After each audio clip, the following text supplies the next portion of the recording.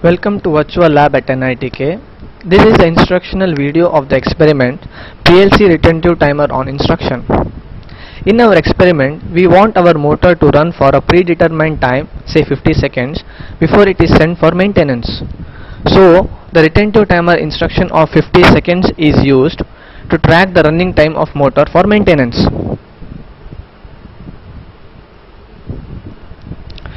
Here, one switch is used to turn the motor on or off and one push button of normally open type is used to reset the timer.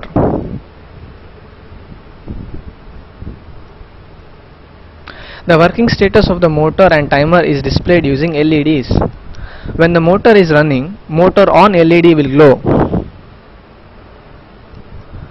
When the motor is not running, motor off LED will glow. When the timer has done timing, done timing LED will glow. Now let us see the simulation. If we close the start switch, the timer will start timing.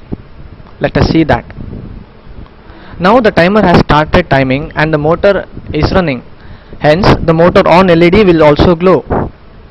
Suppose if we open the switch now, the retentive timer on instruction holds the previous value that is accumulated value is 32. Now if we close the switch, the timer will start running from 32 that is previous value.